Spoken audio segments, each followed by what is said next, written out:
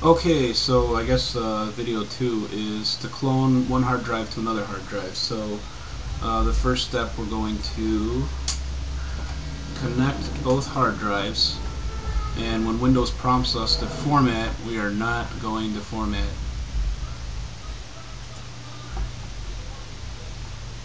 So we have an F and a G drive cancel cancel and these are our two formatted drives. They're both the WBFS partitions and they're ready to go.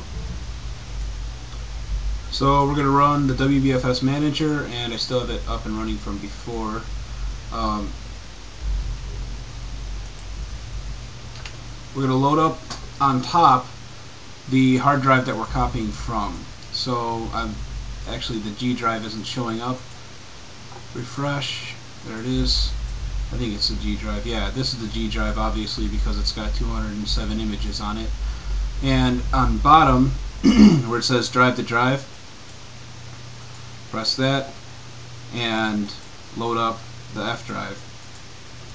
And we have our one game that we loaded up earlier. So the next step is we're going to, we can do it one of two ways. Uh, select clone right here. And this will just clone everything. Or if you want to select certain ones you know control click and then hit copy to this drive. And it'll only do the ones that you have selected. Uh, it's your preference. It'll take about 12 hours to do these 200 games. So once that's over just hit unload down here. And uh, that's it. Test it out